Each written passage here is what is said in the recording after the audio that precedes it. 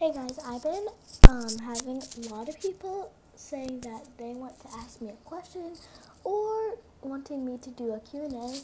So if you want to ask me a question or say something nice, just go in the comments and I'll see your comment and I'll heart it and I'll respond back. Okay guys, love you all so much.